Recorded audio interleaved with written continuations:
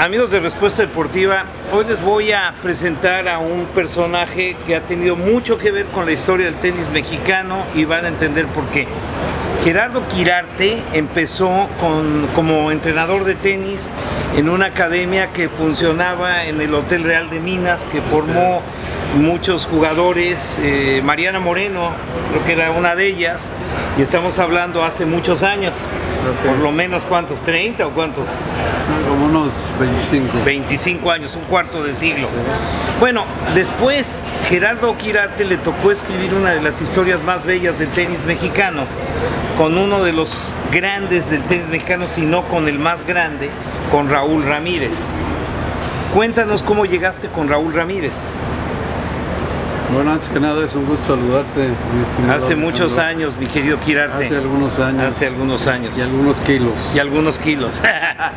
Cuéntame cómo llegaste con Raúl. Bueno, Raúl, yo siempre supe de su trayectoria y tuve ocasión de conocerlo justamente aquí en Acapulco en un torneo que se hizo del ATP, donde me tocó colaborar y pudimos hacer ahí un buen entendimiento en cuanto a, lo que eran las facilidades para entrenar y todo ello, cuando él ya estaba de capitán de Copa Davis. Me invitó a ayudarlo en Copa Federación con Angélica, Angélica Gabaldón, ¿Te tocó la primera división con ellos? Me tocó primera división Con Lupita Novelo, Angélica Gabaldón, con eh, este, esta, Isabela Petrov. y Aranzazú Gallardo.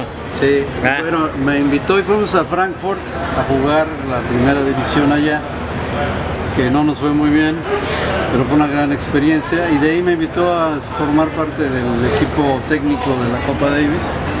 Y al final, pues Raúl y yo hicimos una muy buena amistad y además tuvimos grandes y gratos momentos de recuerdo. 10 series de Copa Davis estuvimos juntos, incluyendo... Ya ni Maritza. Incluyendo aquella del 95, septiembre del 95. México 3, España 2, Luis Enrique Herrera le gana a Verazategui. En el quinto punto. Y te echaste el chapuzón. Así es. Fíjate que estuve, veces. estuve con Emilio Sánchez ahorita en Guadalajara Ajá. y estábamos recordando esa serie porque ellos nos ganaron en Marbella 89 y no obstante que Lavalle y Lozano también le iban ganando a, Sa- a Casal y Sánchez, pero aquí vino. Y esa serie de la que él habla hubo un enojo de Raúl porque el, eh, invitaron a- al grito de la independencia a Manolo Santana Y al equipo español. y al equipo español y no al mexicano. Eso solo pasa en México. Pero fue una estrategia de Raúl. Al final eh, acabamos recibiendo una carta disculpa del presidente Ernesto Cedillo, invitándonos a Los Pinos posterior al encuentro, donde dijo yo sé que ustedes van a ganar y yo los espero en Los Pinos. Y así fue. Y fueron a Los Pinos. Fuimos a Los Señor Pinos. Ramírez, ¿cómo está? nos recibió muy bien y bueno Raúl además de ser un gran tenista si no es que el mejor mexicano de todos los tiempos pues también fue un gran estratega y en A ver, a ver, ¿por qué era gran estratega? Porque tú sabes de tenis. pues porque sabía qué hacer en qué momento cómo manejar un poco la opinión pública qué hacer en momentos de inquietud de los jugadores y sobre todo todo lo que ocurría dentro del seno del equipo que pues siempre fue muy interesante los jugadores y esa era parte de mi trabajo. ¿Hasta qué año estuviste? Estuvimos hasta el 98 creo. Entonces te tocó la cachetada del cuarto de, de- de los 25 mil dólares. Sí, sí, desafortunadamente. Fíjate que eso, eso es algo que pasó en el kiosco del, del Club Puerta de Hierro cuando México pierde con Italia. Esto fue en 96 gana, 97. 97. México, México va a, a Roma y pierde con Italia. 4-1. 4-1, Mejor ¿no?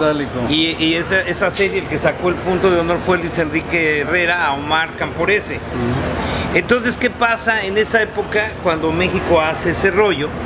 Este, Raúl decide decirle a Lavalle que ya, pues ya, ya no lo iba a utilizar para la serie contra Alemania. No, pero no fue así.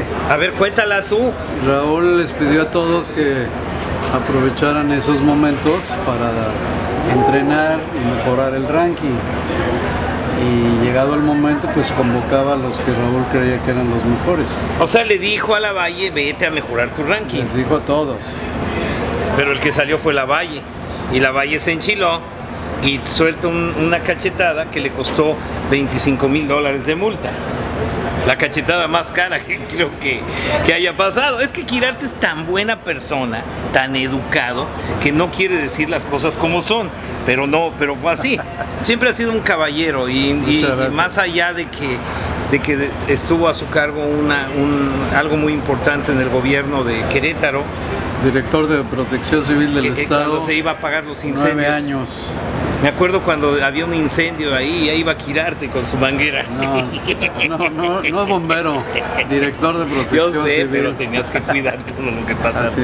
Bueno, y para cerrar esta, esto, yo fui a Ensenada ahorita y nuestro querido amigo Raúl Ramírez tiene un problema de salud que tú lo debes de saber y que toda la afición de tenis está muy al pendiente de él. Sí, la verdad es que pues Raúl tiene una gran entereza y como todo lo que le ha tocado en su vida en todos sentidos, pues ahora tiene un momento complicado. Su salud no es la mejor, pero lo está enfrentando con gran actitud, como siempre. Y eh, ¿Sigues en contacto con Raúl? seguimos en contacto, ¿Por mail? sí, por mail. Sí, porque él, él no le gusta hablar, por mail le gusta más. Y, bueno, pues tengo la, la ocasión de saber cómo está. Sé que su familia, en particular su nieto, es un gran motor para él. Como los que tenemos la dicha de tener nietos, pues siempre son, son una bendición y son algo muy especial. Entonces, pues desde aquí un saludo muy cordial al buen Raúl, sabiendo que, que va a hacer todo para que su salud vaya mejor. Vamos a cerrar un, un ciclo de Raúl Ramírez, decirlo. 1971 fue el mexicano juvenil que ganó el Internacional del Deportivo Chapultepec. Ese ahí pintaba. 1973 ya se va a los grandes torneos. Gana su primer torneo es Terán.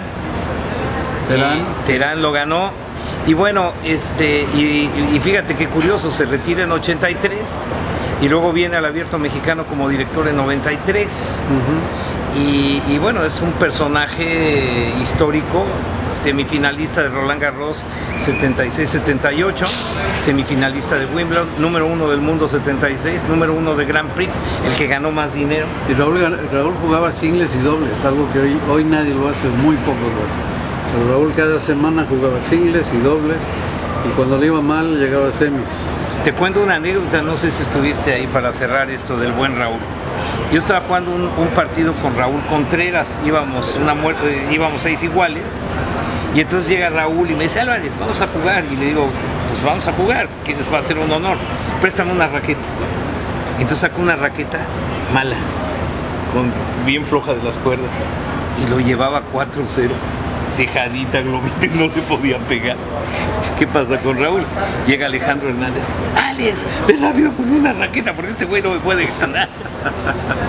Le Sí, traen la raqueta y en 5 minutos, 4-1, 4-2, 4-3, 4-4, 5-4, Las cosas en su lugar. y las cosas en su lugar, pero tuve el honor de llevar al señor Raúl Ramírez 4-0, 4-1 y este y lo traje como Yo le gané dos veces en dobles, dos sets en dobles, uno en Ensenada, cuando le ¿Estás fui, hablando en serio? Sí, cuando le fui a ayudar en un torneo y al Ah, escoger, ahora resulta que este sí le ganó, yo no le puedo al ganar de escoger parejas, a mí me tocó un jugador bueno y a él le tocó uno que estaba medio crudo, Y le echaste todo al todo crudo. otro.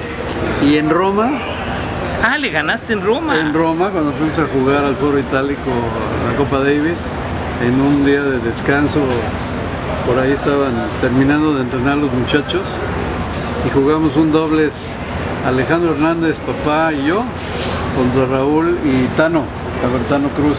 Pero Albertano Cruz no sabe jugar tenis. Pues ese era, ese era el chiste. ¿Y ese cuate para qué lo llevaron ahí? Nomás le cargamos todo y al final le gané el segundo set a Raúl Ramírez. Bueno, es que con Tano, gusta cañón, también es, te agarras un, le tiras todo a este cuate y ya, ¿no? Pero Digo, no, Raúl la verdad es que es una gran persona, es una leyenda en el tenis mexicano. Gracias a él se tuvo un impulso muy importante en la época del desarrollo de muchos clubes en México. Los Britannia y que tristemente Britannia. ya desaparece el club del Britannia Pedregal, Los Casablanca, que ya desapareció el Casablanca San Ángel. Pero bueno, fue pero- una época. Bueno, para cerrar esta cápsula, 1975 en Roma, Raúl Ramírez le gana a Manuel Orantes la final del Foro Itálico y en Monte Carlo también hay una anécdota donde Guillermo Vilas lo llevaba 5-0, cambia la estrategia, se le va a la red y le saca el partido. Ese era Raúl Ramírez, mejor tenista mexicano. Corte.